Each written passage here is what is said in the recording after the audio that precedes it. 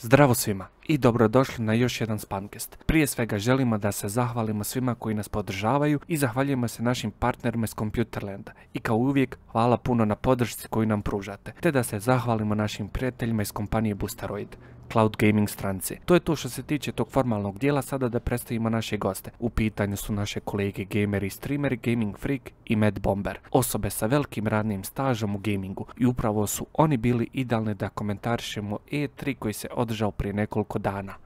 Uživajte!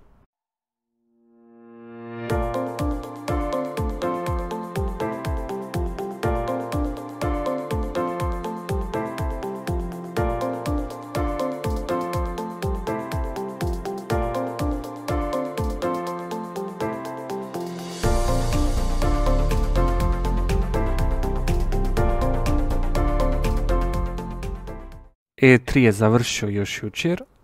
Imali smo i danas neki ono, prezentaciju u sklopu svega toga. Mislim da je bio danas Valve, opet. Nisam tačno baš ispratio, ali ono, glavni program i showcase za E3 2021 je završen jučer. E, pa ajmo za početak da čujemo onaj, vas dvojicu šta mislite o tome. Kako vam se svidjelo, šta ste, šta ste vidjeli, šta ste očekivali, jeste li razočarani? Evo, Gaming Freak imaš prednost ako, ako želiš. Dobro, hvala. Ove, ovaj, pa šta znam, mislim, generalno kao i svaki E3, malo se razočaraš, malo se oduševiš, to je već godinama tako nazad. Mada uglavnom, redko koje zaneđenje oni imaju da nam ponude. Mnogi su, mnogi su razočarali, ja nisam stigao baš sve ni da ispratim, ali ono što sam ispratio, 80% pravo da kažem razočarenje. Jedino što je Microsoft tu nekako izvodio situaciju ali ovo ostalo ovaj, ne, nemam komentar pravo da vam kažem. Dobro. Da me, mene generalno ovaj, isto tako nije baš ugodno iznenadilo pogotovo što kroz kompletno ovo razdoblje ne mogu čak razumjeti ni sa financijske strane to odgađanje izraženje igara, jer opet svakako vjerujem da je dobar dio potencijalne publike. Trailere i sve to gleda online, mislim nije baš da je, ajmo reći, kompletan target audience ko kupuje igre neko ko dođe na E3, tako da mi nije uopće još uvijek jasan taj koncept daljnjeg ovaj, odgađanja igara. S time da sam naravno onda očekivao i stvarno velike nekakve i naslove i sve te stvari, jer mislim, mi jesmo većinom ko gameri sada više doma nego što si prije bio, ali kako bi rekao, vjerujem da financijski razlozi nisu ti da bi se sad to toliko odgodilo i da pač očekivao sa nekakve velike ovaj, a da li smatrate, velike najave. A da li smatrate da je upravo pandemija i kompletna situacija koja je zadesla čitav svijet onaj kriva za ovako slabe E3? Pa mislim, opet ako ćemo gledat broj igara je tu, mislim bile to nekakve indie igre, bile to igre AAA, opet neko vrijeme neki novac je treba biti uložen, tako da ne mislim da je on nužno, uh, amo reći, jeli, uvjetovao kvalitetu igara, ali definitivno uvjetovalo da ove nekakve AAA naslove odgode za neka bolja vremena, veći marketing i veći reach, jel? to je neko moje mišljenje. Pa da, donakle se ja slažem. I, mislim i uticala je i nije uticala. Na kraju krajeva, recimo ono što je Microsoft prikazuje, ja se ne sjećam da je Microsoft zadnjih nekoliko godina imao takav showcase na E3-u. To, toliko dobar showcase na E3-u. Sa druge strane, Ubisoft mislim nije ni imao šta da prikaže. Ja ne vjerujem da je pandemija uticala to, na toliko na, na Ubisoft da oni nemaju šta da prikažu bukvalno na E3-u. To mi je prosto neverovatno. Oni jednostavno većinu igara koji su imali, oni su ispucali prošle godine, tako da ovdje si faktički ostao oguljen. Nisi imao ništa da vidiš. da, mislim... Rec, rec. Pa mislim da definitivno i nekakav uh, showcase nekih igara koji su nama bile zanimljive, novog God of War i zapravo sve što je trebalo biti, ajmo reći, ne ekskluziva, ali primarno za PlayStation publiku, čak i to odgođeno radi nestašice i PlayStationa i nemogućnosti nekakve brze proizvodnje. Tako da ja vjerujem da se tu radilo o tome da danas svatko ima PlayStation 5 bez ikakvog problema, nego da je problem isključivo financijske prirode, da bi tu onda, ne bi nužno God of War, ali dosta nekih igara bilo Jer sada na E3 što nažalost nije slučaj. Ja mislim da ne, ne možemo baš kriviti ono nedostatak i PlayStation 5 konzola na tržištu i kompletnu tu situaciju. Evo na primjer ako uzmemo upravo Microsoft i cijeli njihov showcase, um, znači u istom trenutku izbacuju konzolu kad i Sony.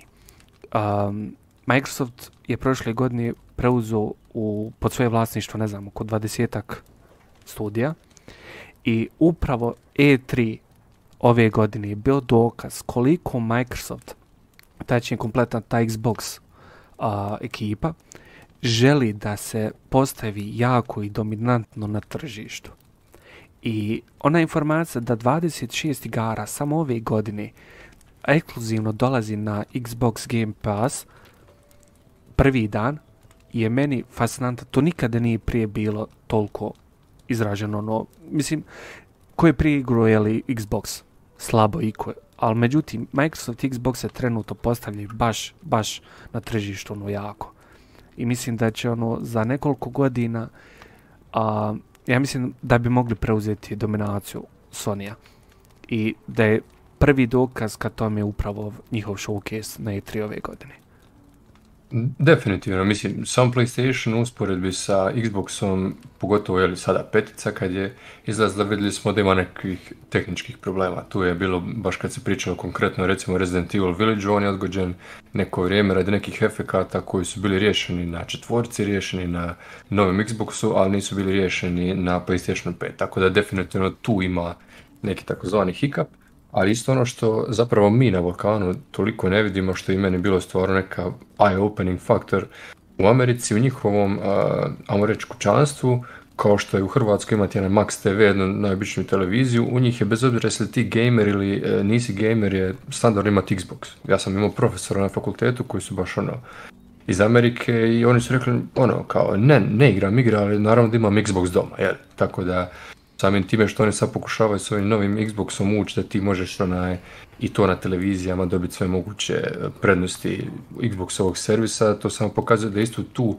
e, kulturu koja je ono, bez obzira jesi li gamer ili nisi, Xbox imaš doma jer je to po defaultu, to je normalno i ono, ajmo reći FIFA, Call of Duty i tako dvije, tri stvari, da oni to žele prebaciti na druge zemlje. Mislim, budu li oni uh, ovako uspješni u distribuciji, ne vidim nija problem da se jednostavno e, da jednostavno pregaze PlayStation, jer mislim danas ne živimo u vrijeme single player igara kao što je to bilo kad su uharali Max Payne i tako nekakve stvari, tako uh, God of War i nekakve takve ekskluzive, ljudi, ljudima će biti sasvim ok posuditi od nekoga PlayStation da to odigraju vrati ga, a nastaviti na Xboxu.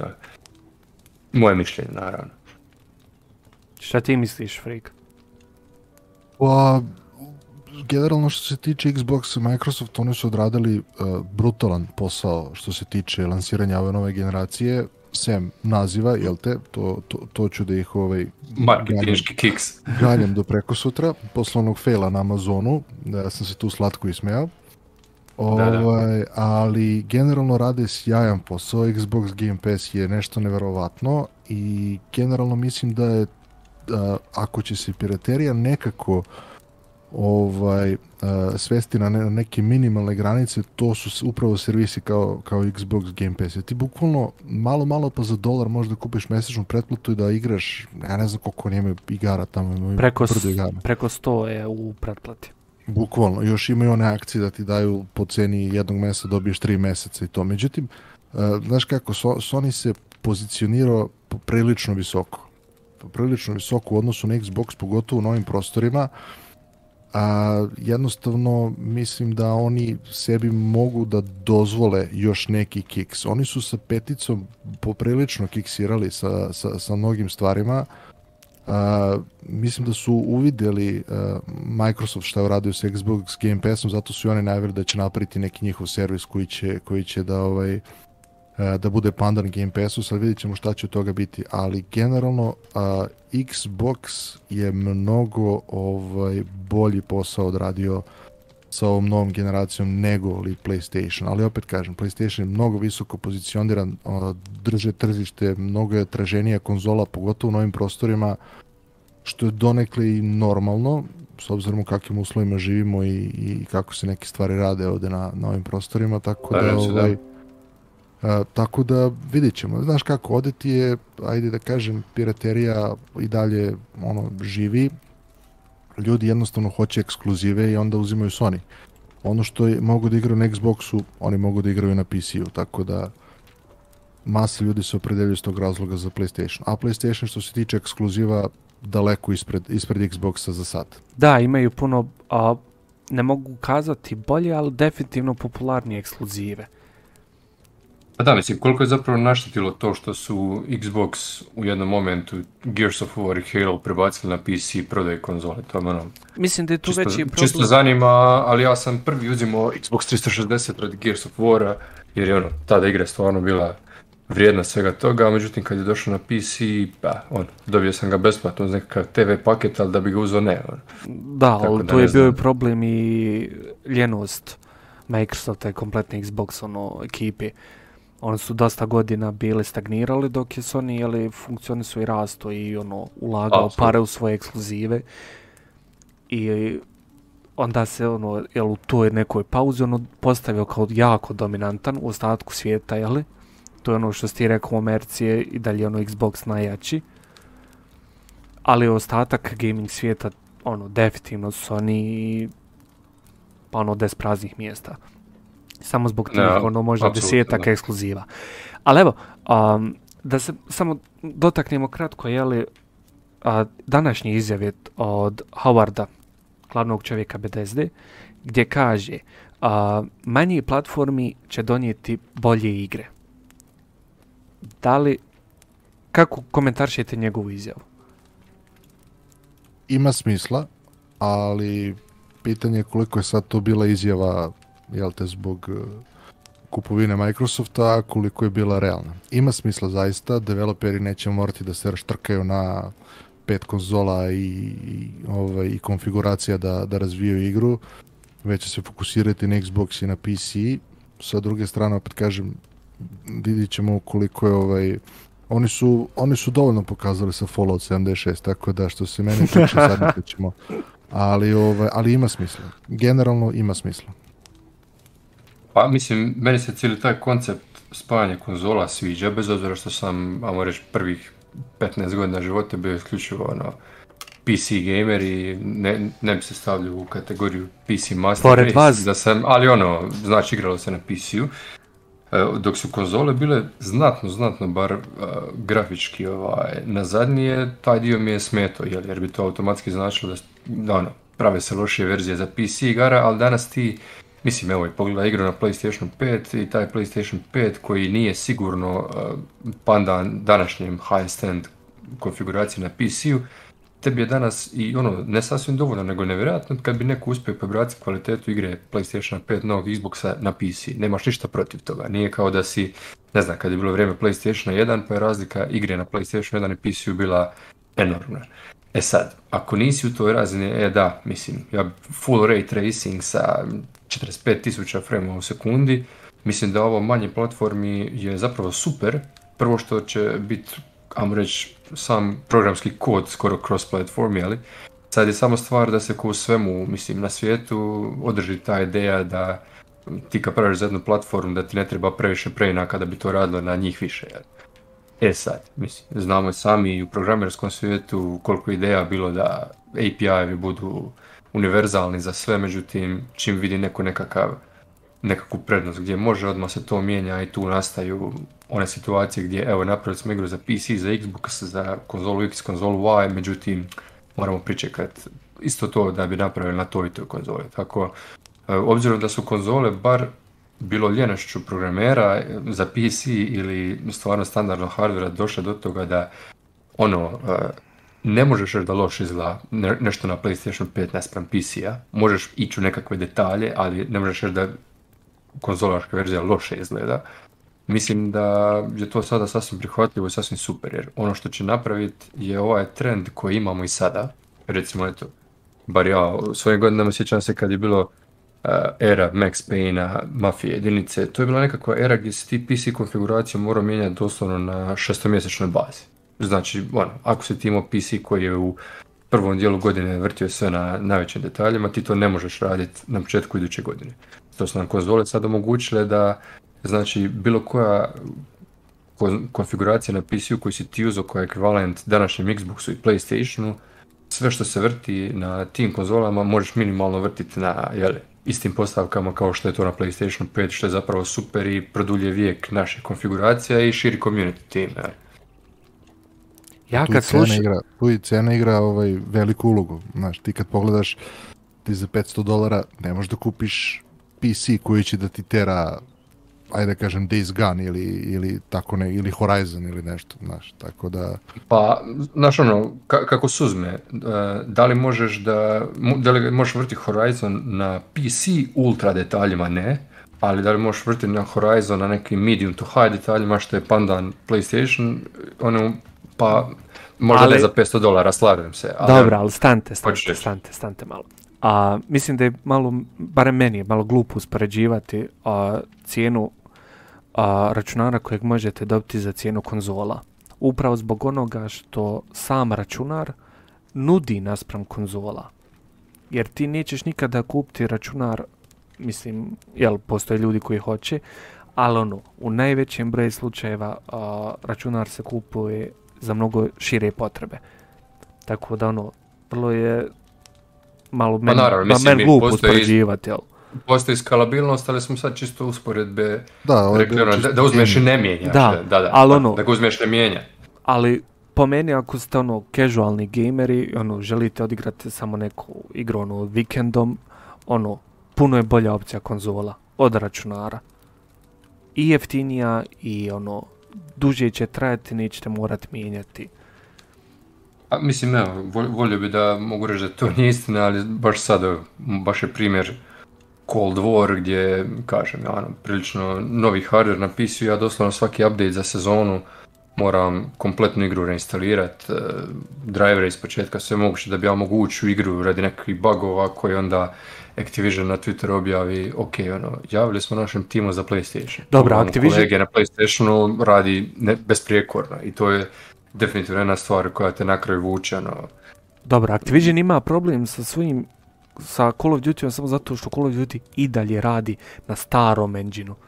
Koji oni, ja ne razumijem šta čekaju više, hoće li ga ikad promijeniti.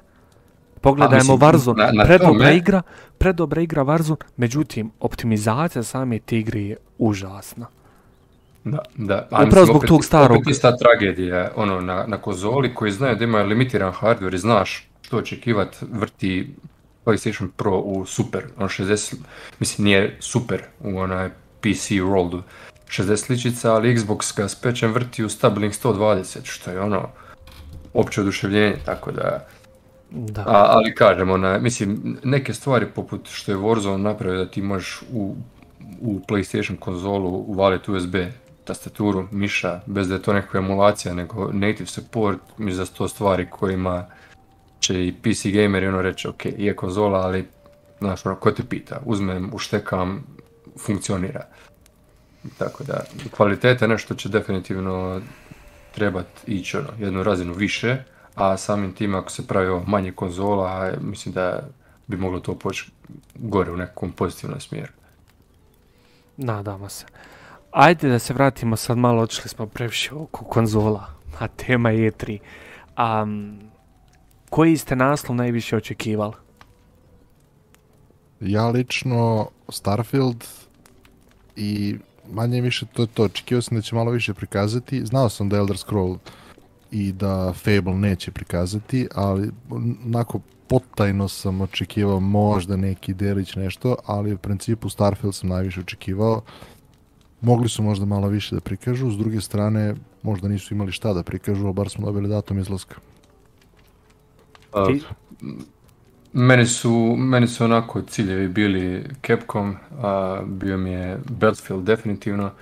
A, Capcomu sam se nadao da će nastaviti ovaj trend nekakvih vrhunskih remastera, jer najavljivala se nekakva Resident Evil Code Veronica, pa je na kraju to ispada da se radi Resident Evil 4 VR, koji je možda tema za neki drugi podcast, a onaj... Ali Tu ćemo Vinka su- zvat. To, nemoj molim. Šalim se, naravno, Vinko. Ovaj, e, tu sam htio samo reći da ovaj, Battlefield sam zapravo najviše čekao, tako da onako što se tiče mene i, i mojih nekih preferencij, me, meni je to jako dobro ispalo.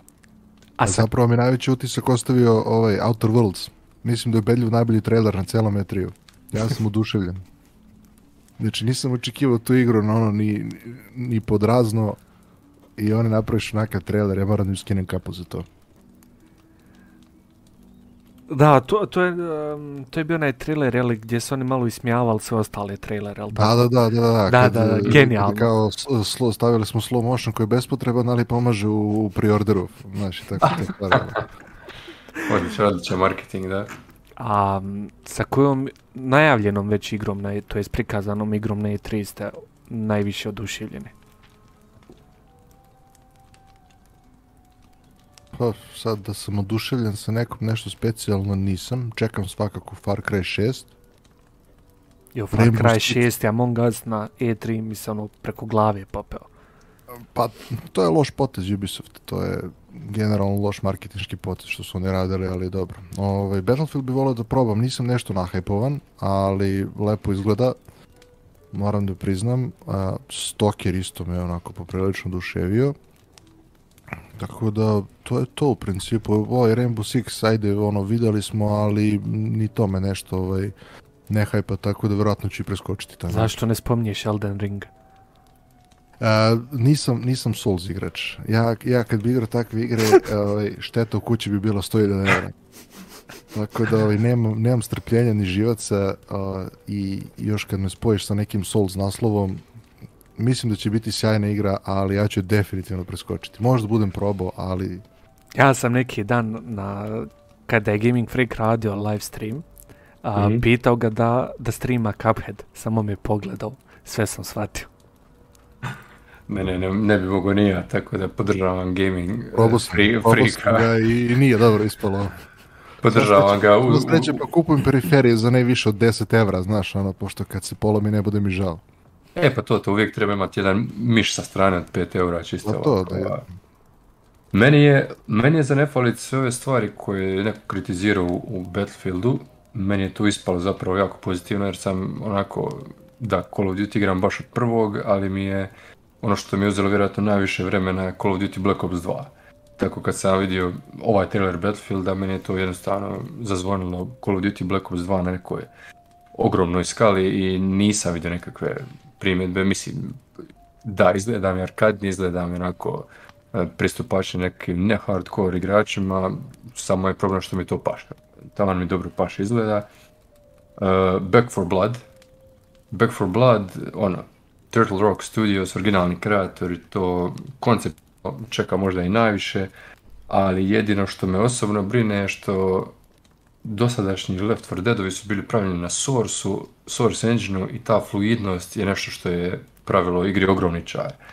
Ja sam i onim game, gameplay videima i trailerima mi para ovaj engine na kojem se vrti Back 4 Blood tako statičan, a ne mogu opisati, ne znam zašto, no uopće ne vidim tu nekakvu fluidnost. Sad, da li je neko ko igrao gameplay to igrao onako na konzoli pa htio malo raditi nekakav show pa lagane kretnje, ali eto, nadam se da će to u jednom momentu kad dobijem alfu moć zaigrati i probati jer je to definitivno nešto što je ono kvalitetan takav naslov od Left 4 Dead 2 nije ni bio, a Left 4 Dead 3 znamo sami po Valve ovaj, prezentaciji kada će biti. Ja.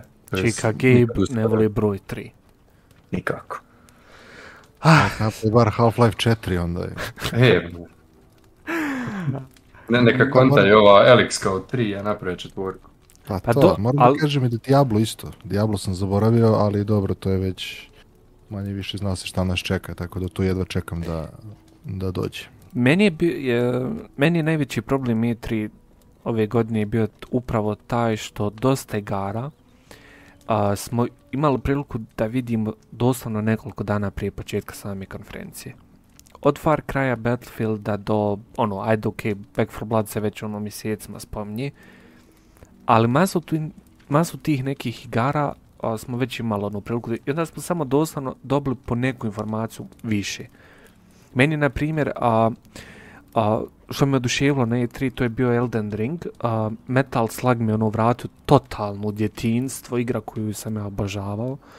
Igrati ono na PlayStation 1. I oduševila me svaka doslovno indie igra koja je bila prikazana.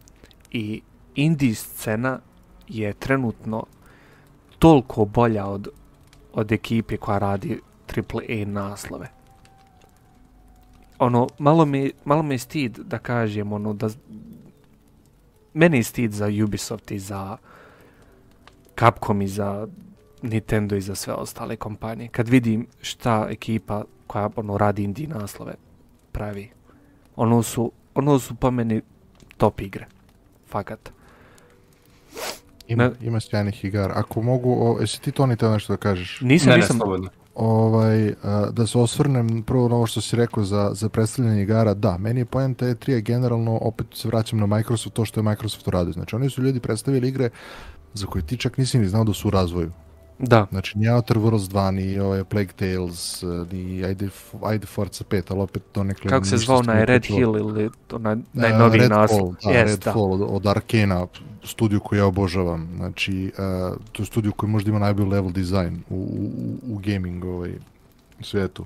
Uh, znači, jednostavno ti uzmeš sad prikažeš nedelju dana pre početka E3 Far Cry, onda uzmeš, dođeš na tvoju konferenciju i prikažeš opet Far Cry, a ništa novo faktički nisi prikazao, onda sutra uzmeš opet prikažeš Far Cry na Microsoftovoj eh, konferenciji.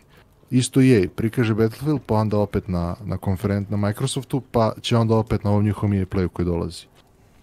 To mi je totalno bez veze. Znači, generalno, kako ja zamišljam E3 je da ti prikazuju igre i naslove za koje ti nisi ni znao da izlaze i da te ono jednostavno da te hajpuju, da te oduševe. Da, Što se tiče indie naslova, Microsoft je predstavio jedan indie naslov, sad ne mogu da sjetim tačno kako se zove, da li Somerville ili Somberville ili Soberville, tako nešto. Uh, poprilično podsjeća na Inside, ako ste igrali, ja sam je relativno skoro odigrao i oduševio s igrom. Uh, I onda sam vidio na, na netu da zapravo to je uh, lik koji je osnovao studio koji, ra, koji je radio Inside. Ovaj, oni su radili tu igru, tako da iskreno ovaj, volio bi, volio bi da je probam da je probam čim izađe, baš podsjeća onako poprilično na, na, na ima taj, ima taj vibe, ima taj šmek koji ima Inside, bar po onome što su prikazali. Ali definitivno indie igre polako dolaze na, na, onako, na velika vrata ulaze na scenu. pa eto, dobro, svjedoci smo da je Hades osvojila prošle godine ono Da. masu, masu titula za najbolju igru godine. To je indie naslov. I koji je ono bio fakat remek dijela. Ja sam se ponadao kad su u jednom trenutku prikazali a, scene iz Hadesa da će najaviti Hades dvojku. Ono, i to mi je bilo malo razočarenje, ali eto, ono, kao stavili su da ga don, jeli, portaju za next gen, što je opet super. Mada mislim da je to ono bespotrebno, da sada ono svi developeri samo forsiraju taj next gen i te neke Pa portove. da, pogotovo u igrama koje ne možeš da vidiš neki sad grafički napredak. Da, ko što je upravo taj Hades. Da. Šta ti misliš, Toni? O indie Pa mislim, Mm, pa definitivno ono što vidim je da je ono, obzirom da nikad u početku nikakav preveliki brand ne stoji za njih, ogromno se ulaže truda u baš kvalitetu igre. Tim indie igrama za razliku od mislim svih ovih velikih igrača koji ono mislim ja ću se prvi popljiva postaviti pa reći da ću kupi Call of Duty svaki bez obzira kakav je, jel? Tako da definitivno kad to nije utjecaj kvalitete tu stvarno vidim priliku da to u jednom momentu dođe na skoro istu razinu kao i AAA nastavi. Uvijek će postojati AAA nastavi koji su i AAA nastav i kvaliteta, ali isto tako mislim, vidimo AAA naslova koji su to financijski, ali koji kvalitetom nisu ni blizu nekih indie igara, mislim, čisto zato jer je tako tržište, tako da definitivno je podržavam, a vidim da, mislim kad ti pogledaš e, koliko ima ovih oglasa za posao, pa koji su vezani za Unity, Unreal, ono, nisu to nekakvi veliki projekti indie igre, ali to ide i ljudi se trude, stvarno e, ogromna se razlika vidi u kvaliteti. Da, Da, oni moraju, oni jednostavno moraju da se probijaju kreativnošću. Znaš, dok ove velike AAA kompanije, oni jednostavno ono, idu po nekom ustaljenom receptu, po nekim franšizama koji su tu već godinama, decenijama i tako da polako ti indie naslovi sa kreativnošću počinju da se probijaju na, na, na scenu. ali upravo to će uh, sve te AAA naslove ubiti, zato što ono već ajmo re, mogu slobodno da kažem nekih već desetak godina, svaki AAA naslov liči na onaj prethodni. I Pa da, ti iskoči nikako tu- nemaš inovativnost u igrama. Po meni najveću inovativnost ove godine od igara imala definitivno The Medium, onaj horor. Odličan horor, da, to sam igram na PC-u. I bilo mi je, ono, ja kad sam pisao, pis, pisao recenziju za taj naslov, ono, unio sam dušu, imao, imao, imao sam materijala da napišem zaista nešto. A sada, ono, problem je napisati recenziju za bilo koju igru, jer ono, sve sam već kazao, ono, doslovno mi kao da pišem copy-paste. Sve je isto. A Sve je isto. Red, redko ko izađe iz tog kalupa, redko ko se odvaži da nešto uradi drugačije, a da pritom ima budžet. To je bio recimo Ubisoft sa Immortals koja je prošla Da. onako prilično ispod radara, a koja je meni sjajna igra. Medium je isto dobra igra, malo su i oni onako izašli iz tog nekog okvira, iz tog nekog kalupa. Ovaj, tako da, ako bi češće ljudi tako rizikovali, isto i ovaj Jedi Fallen Order, on je isto malo onako ovaj, poprilično iznenadio s obzirom od koga je došao. Da, da, apsolutno. Tako da, ovaj, ako bi malo če... oni imaju para ko blata. Ako bi oni malo češće uzeli da rizikuju s takvim igrama, mislim da bi to bilo mnogo bolje nego da se drže ono Assassin's Creed, Assassin's Creed Watch Dogs, Assassin's Creed, Assassin's Creed Watch Dogs i znaš, to mi ono baš već postaje monotono, suvoparno.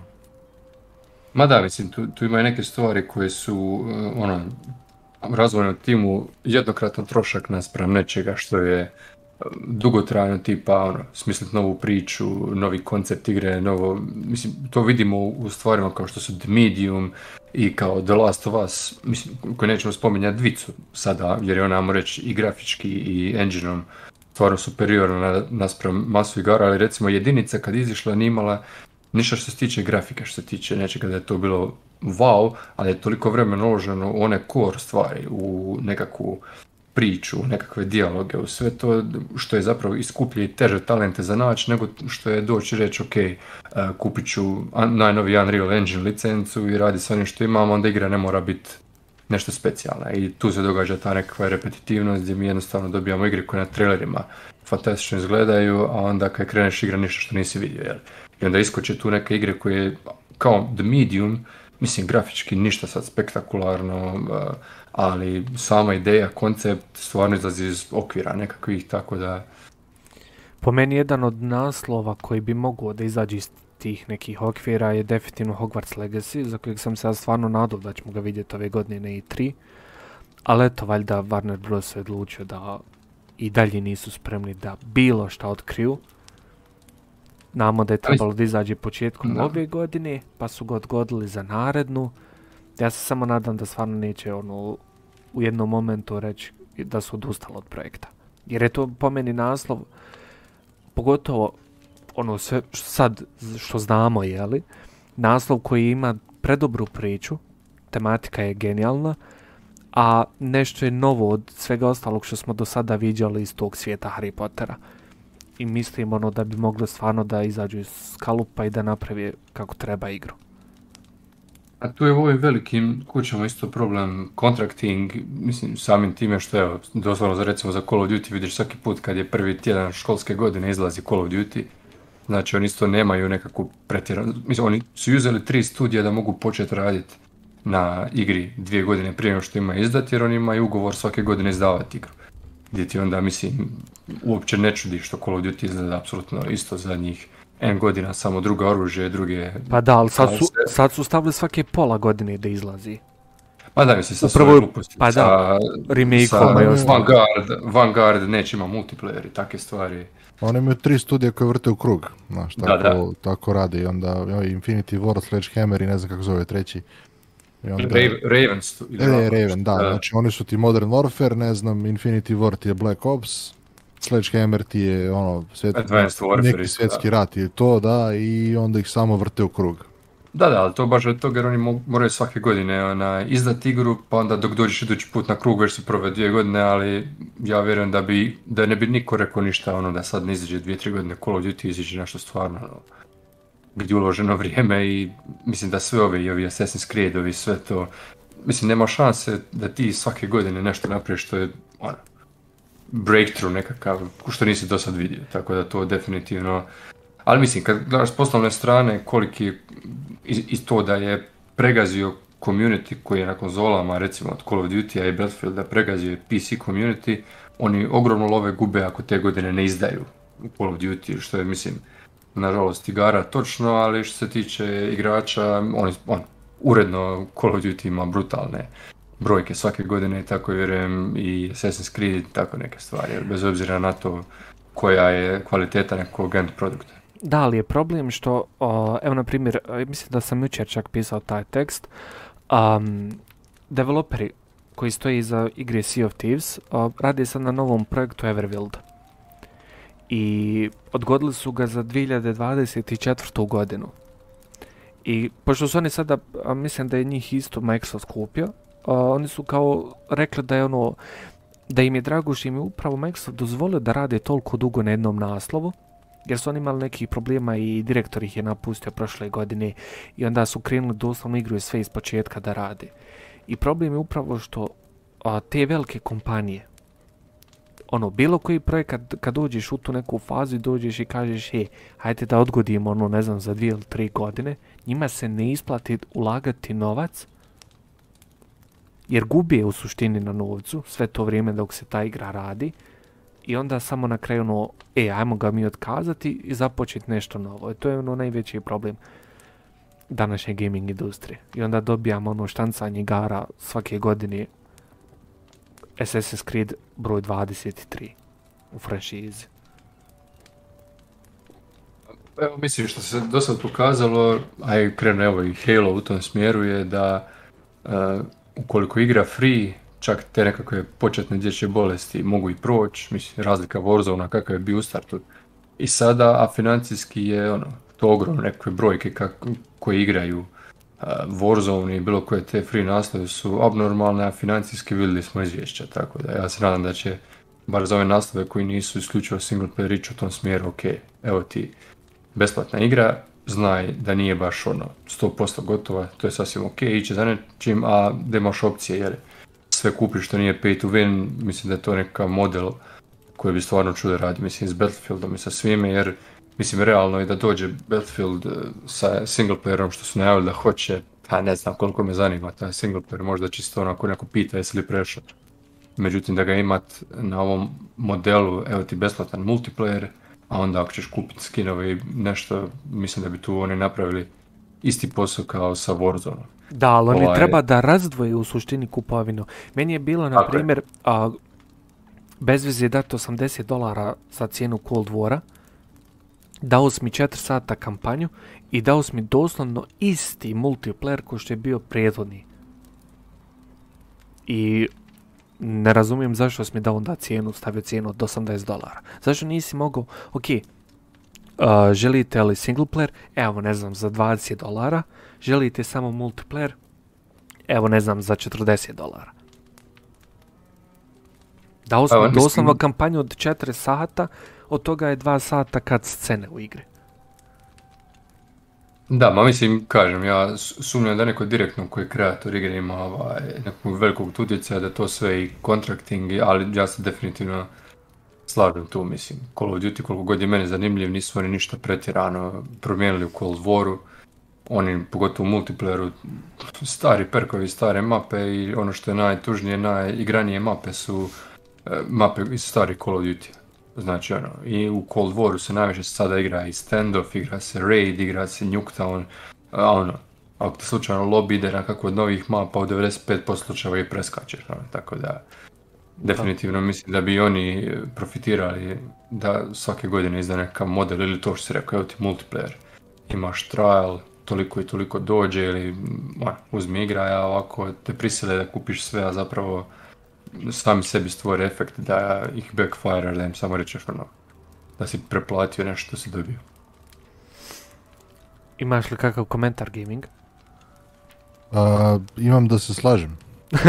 Mislim, generalno, generalno, ovaj, ne, pa pazi, ja Cold War nisam kupio uh, upravo iz tog razloga, zato što ja sam htio da pređem single player. Nije mi se igrao multiplayer u Cold Waru, jednostavno htio sam single player, ali mi je mnogo bilo da dajem tolike pare samo za, za, ovaj, za što ti kažeš 4 sata kampanje, tako da ako bi oni mogli, kao što će na PlayStation 5 da razdvajaju instalacije, da ako hoćeš single player evo ti i ako hoćeš multiplayer evo ti, tako neka naprave i neki ovaj... Da, tu su sada je na PC-u napravili isto Da, tako. na PC-u jeste. Da, da. Znači jednostavno neka kažu, a to što kaže, ako hoćeš single player, evo ti 20 dolara, važi, ja ću kupim, evo ti, evo ti 20 dolara, izvolite daj mi single player, ja ću odigram, ja srećan, zadovoljan, igrat ću Warzone ako mi se igra multiplayer i to je to. Da. Um, IGN, GameSpot, PC Gamer uh, i Games Radar su proglasili pobjednika ovogodišnjeg E3.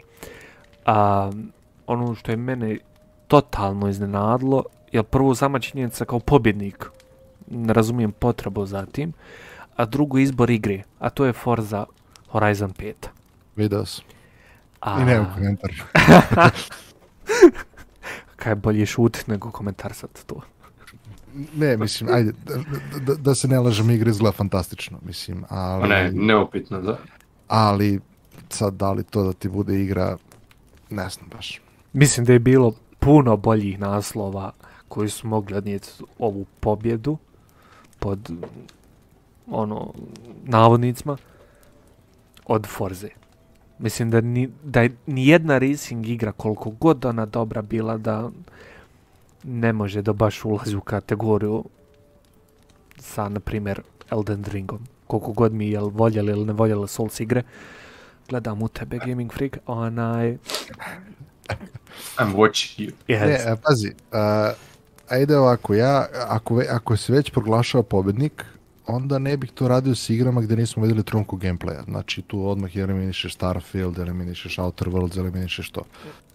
Znači, Pa zato kažem da je bila glupa, a, a bez veze stvar izabrat pobjednika. Pa da, znači ako hoćeš onda znači uzmeš tipa Rainbow Six gdje si vidio gameplay, uzmeš uh, ovaj uh, uh, Stalker gdje si vidio gameplay, ajde uzmeš i Forcu, nema veze, neka bude nominovana, ali definitivno sada je baš najbolja, nije. Da je igra dobra, dobra, mislim četvorka, četvorku sam igrao Da. i prelepo izgleda, to jeste, ali što ti kažeš trkačke igre nekako ne ide mi to uz nagradu za najbolju igru.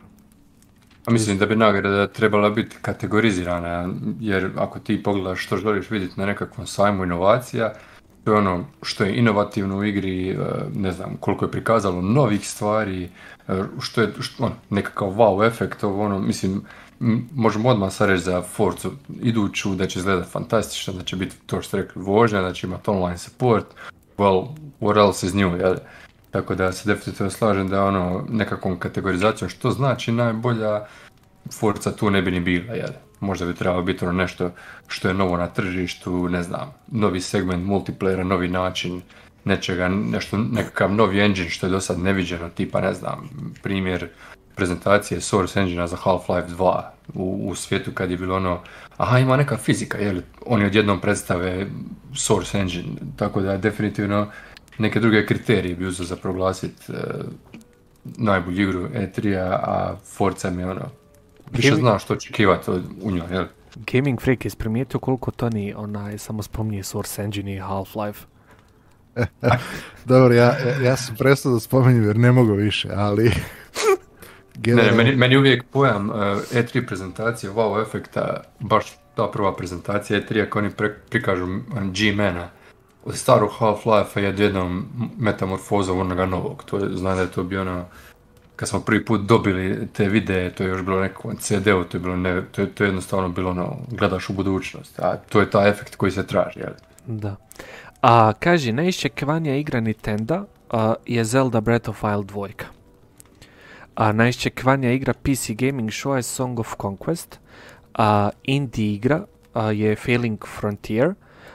Od Ubisoft je Mario and Rabbids. Od Square Enixa je a, novi Marvelov Guardians of the Galaxy. Od Gearboxa je Tiny Tina's Wonderworld. I od Capcoma je The Great Ace Attorney Chronicles. Da li se slažete sa tim izborom igara? Ovdje nigdje nema Elden Ringa, koji je, ono, mislim da ima najveći hype, ja se opet vraćam na taj Elden Ring, ali da ljudi ne bi, ono, shvatili pogrešno, a u nijednu ovu kategoriju ne ulazi Elden Ring s obzirom da je on prikazan na Summer Game Festu, koji nije u sklopu E3 sajma. Iako jeste, ali nije s obzirom da je čovjek koji stoji iza toga otišao iz E3 i pokrenuo Summer Game Fest. Tako da znate. A, jel to govorim publici. E kako komentaršite ove igre koje sam naveo prije? Koje su najščekvanije? Toni, hoćeš ti?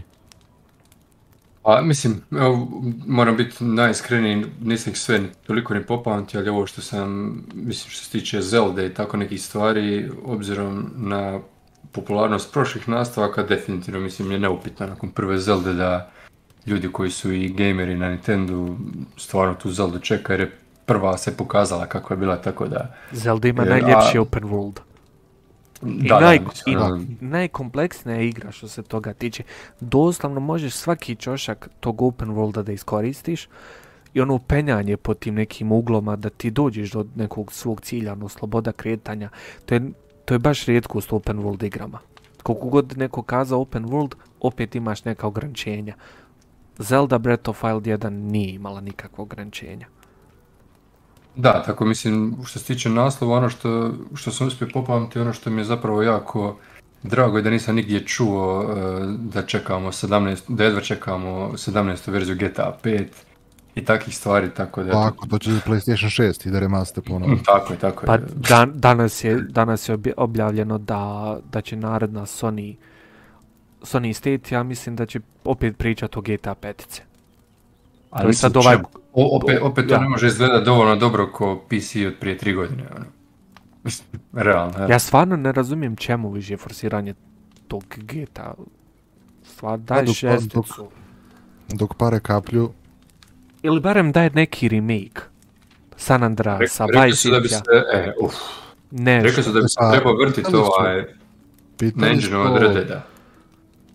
Pitali su, bilo je, e, novinari su pitali ovog vlasnika Take-Two-a pre, ima nekog vreme, nekog vreme već prošlo, o, par mjeseci, pitali su ga za remastere i on je rekao u fazonu, znaš, nije, nije demantovo. Da, to sam, to sam upratio. ali nije ni demantovo.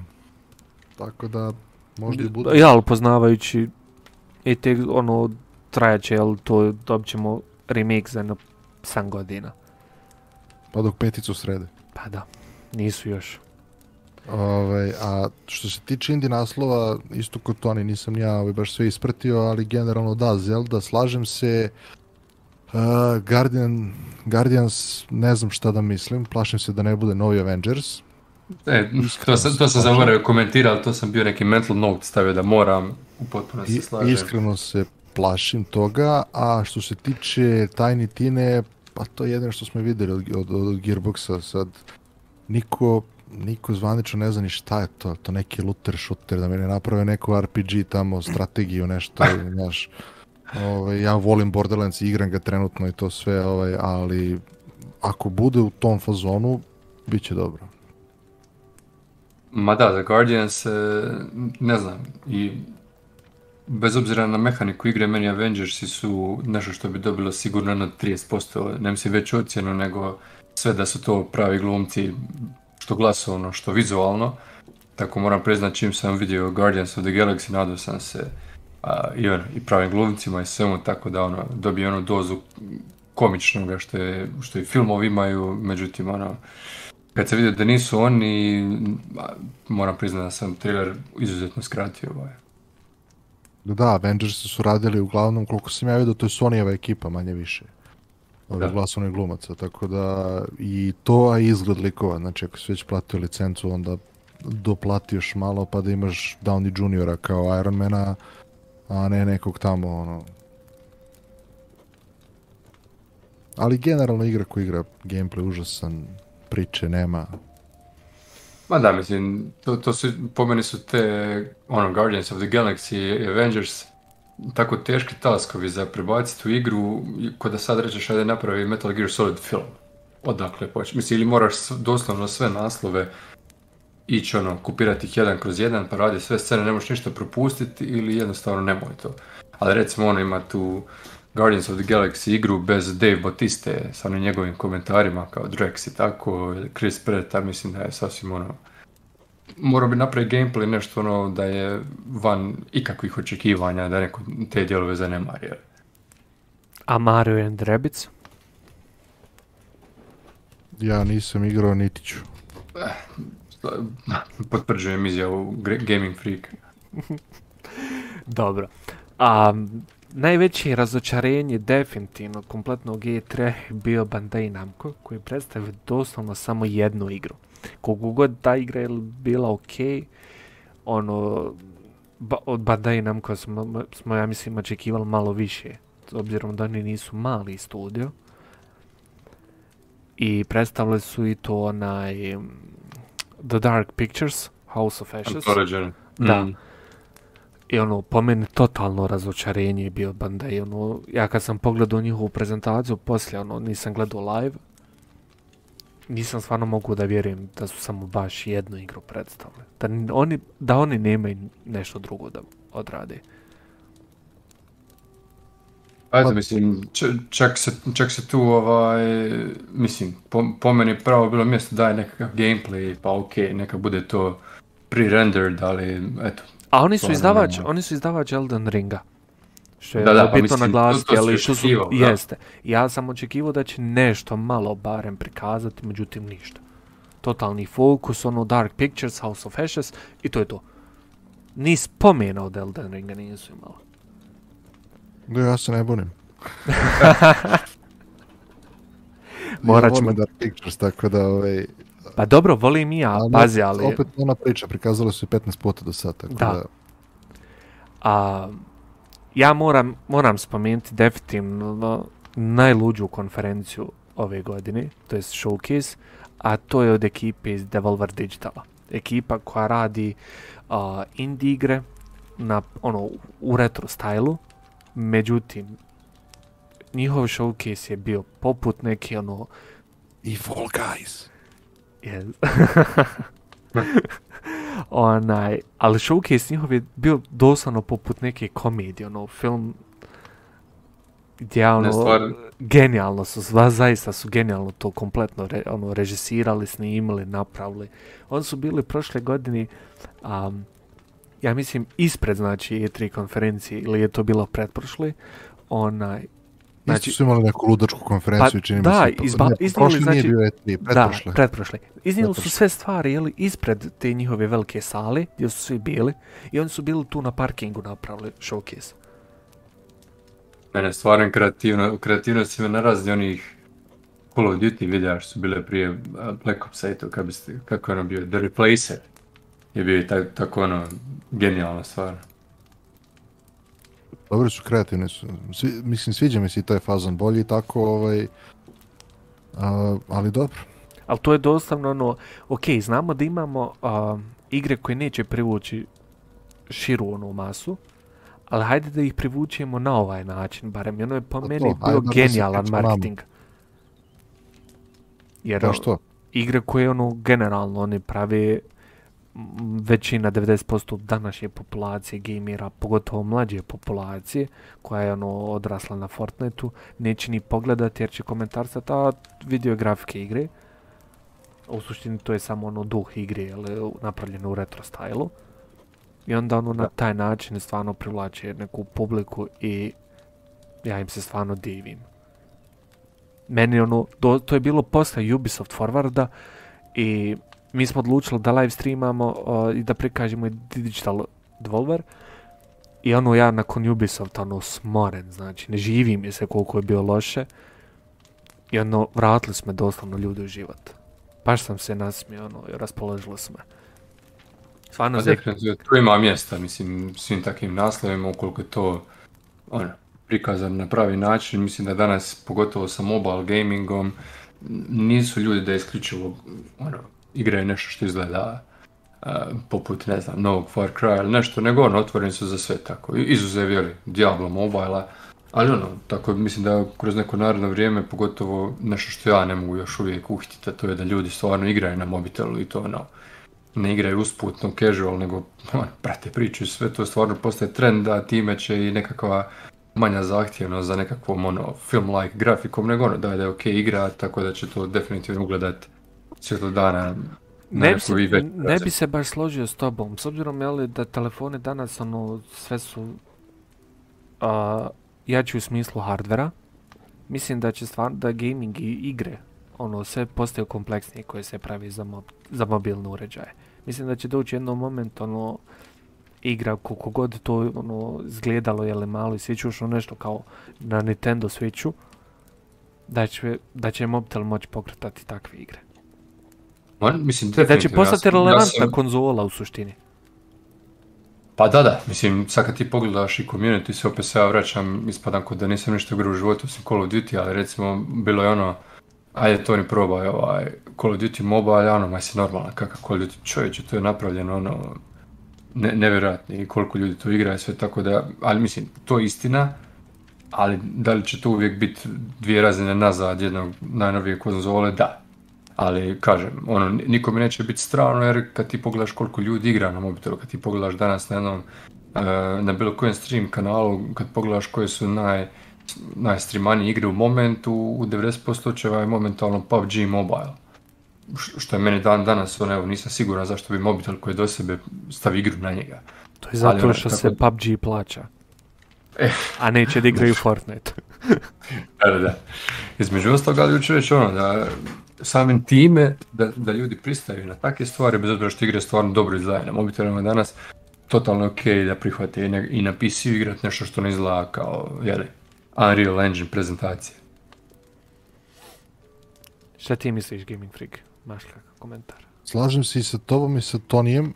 Ovaj, u principu, da, generalno razvoj tehnologije i hardvera idu u tom smeru da ćeš ti sutra moći da igraš ovde God of War na telefonu, ali meni neko telefon nije za igre. Jednostavno, ne igram igrice, nikad nisam, ono, ja sam pre 100 godina instalirao neku igricu, ali generalno ne igram mobilne igre, niti me to privlači. Nekako mi to ne paše mi. Dobro, mi smo matori, da se razumijemo. Pa, ima i toga. Mi smo odra- odrasli na Nintendovim starim konzolama. A mislim, ali pojam igranja ne- ti nije bio nešto što bi usput radio, nego kad si sjeo igrat, sjeo si igrat. Mislim, Ma ja da, ali pazi, nama, mo- nama nije smetalo ni kada se igra vrtla na 3 FPS-a. I kada je bilo Mm. ono 6000 bagova. Ti danas ponudi igru koja ima bug bilo kakav, nastaće problem. Evo sjetimo, sjetimo se opet, jel, uvijek se na to vraćam. Cyberpunka. Cyberpunk na PC verziji na, u prvom danu nije imao toliko bugova koliko se pričalo o tome. Zaista nije bila loše napravljena. Ok, ekipa sa PlayStationa je morala da se žali jer ono je bio užas. Međutim, ekipa sa, koja je igrala to na PC-u nije imala pravo da se žali. Nego je problem bila razmaženost i što mi jao vidi bug u igri. Dajte, A mislim i, ra- i, ra- i razvikanost, pa onda svi pušu na hladno, mislim, imali smo isti primjer sa The Last of Usom, mislim. Toliko smo pljuvali igru zbog nekakvih stvari koje ono... A dobro, cancel kultura je danas jako ono, toksična. I Ma da, ali, problematična. ono, a- a- ali je čak i u jednu ruku i blesava kad ti, mislim, oni krenu tu, mislim, da li igra nasilna, da. E, da li igra oglašavana kao nešto što nije, nije, mislim, nije to FIFA pa da ti sad u FIFA kad foliraš nekoga, nekom otpadne noga. Mislim, igra je prikazana kako je, s druge strane svi ti nekakvi argumenti koji su dani su u najmanju ruku smiješni, mislim. o, Koja, u koji su Last rezultati tvoje ankete bili na streamu Last of Us? Mislim, postavio si pitanje je li da, je, da li je glavna protagonistica Nabil Dana? Je li tako bilo nešto pitanje? E, ma da, bila je, je, je li pre Nabil dana ponuđeni odgovori su bili ne i naravno da ne.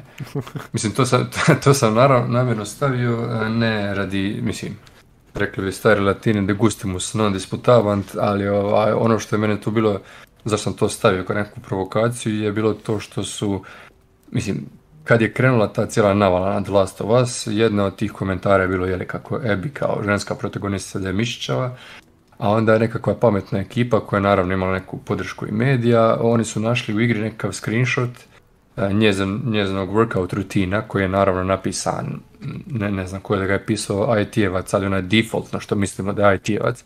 Znači napisano je tipa Monday weights, Tuesday uh, rest day, uh, Wednesday rest day, Thursday, ne znam. Uglavnom dva put tjedno trenira žena po 10, po 10 minuta do, do 20, razumiješ? I onda je ekipa napravila članak koji je sponzoriran da su oni e, pokušali trenirati mjesec dana ko Ebi i da nisu izgledali kao ona. Ah, tako da onako, mislim, to je samo jedan od ovako dokaza s čime, Pa da. s čime posluju developeri, tako nema tu. I ja da trenira ko, ko Saitama ne bih izgledao kao on. I ne bi bio Pa kao on.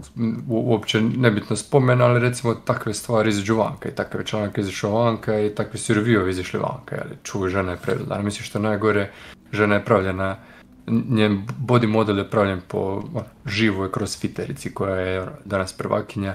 Da li je ona na Kemijana? Apsolutno.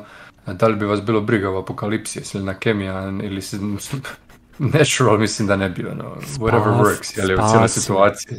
E pa, apsolutno, mislim, tako da, ono, uzet će sve što mogu kao neka, da je Cyberpunk imao nestelarnu izvedbu na PlayStation 4, apsolutno, ali, mislim, pro- pronalaziti neke bugove možeš dan danas u bilo kojoj igri i za svaku igru garantiram naći ih 100 sigurno, ono, vrijedni spomena, samo te nije bilo briga, nije bilo toliki hype iza igre. ne? Naravno. Um, ekipa, imate li kakvih komentara za kraj?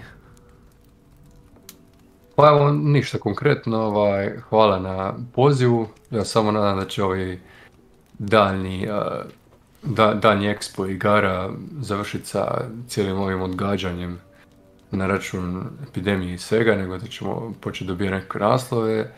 Meni se sviđa čak ovaj neki koncept koji je zapravo marketinški trik, ali meni odgovara što su oni skontali da ljudi koji su igrali igre kad je to bilo na PlayStation 1, sada su jeli, ajmo reći, financijski stabilni ljudi, tako da ovaj, rade te nekakve remake-ove igara iz te ere, što meni apsolutno paše, mislim nekakvi medieval i, i nekakve stvari koje su oni remasterali s PlayStation 1, tome se radujem, zato bi ono do odmah nekakve pare da je za igrat, eh, ne znam, Siphon Filter, da je za igrat Dino Crisis, da je za igrat tako nekakve stvari, tako uh, držim fige da u tom smjeru nastave i Capcom i svi, a nadamo se GTA i... Jel te to puca nostalgija sada?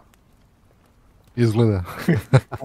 Uh, evo, sad, sad mi je ono, zaigralo srce. Ne, mislim, da, apsolutno kažem, ono, da, da je, ja, ja bi sad ono, mogao da igre odgode neke druge na par godina da mi je zaigrati recimo Dino Crisis na engineu ovom novom od Resident Evil ili nešto tako, apsolutno. Gaming. Vidiš, Siphon Filter ti je dobra ideja, to bi, ali pitanje je, oni su sad malo zauzeti, jedino kako bi dali ono Blue Pointu da radi, to bi bilo dobro. Da. Što se mene tiče, odjevna reč, eto, hvala na pozivu. Ovaj, drago mi je da, da sam bio tu i pa, mislim, šta reći sem čekam Sony i EA da vidim šta će oni da urade i, i da zatvaramo radnju. Točno tako. Nadam se da će biti nešto dobro. Ja se nadam da će Respawn nešto da prikaže. Hoćemo sigurno, mislim- hoćemo ne sigurno. Bio bi Ovaj, red, nadam se da. da će oni nešto, nešto da, da izbace novo. Sad će godišnjica portala, tako da hoćemo sigurno. Onaj, hvala vam još jednom momci što ste se družili večera sa nama. Um, Hvala na pozivu. ekipa pozivu. sve a, linkove od Gaming Freaka, njegovog kanala ćete imati u opisu, također i od Tonija, a, poznat je kao Mad Bomber. I njegov ćemo link staviti u opisu dole. A, hvala vam još jednom što ste slušali najnoviju epizodu podcasta i bacite taj like, share, subscribe i do idućeg videa. Ciao. Ciao. Ciao.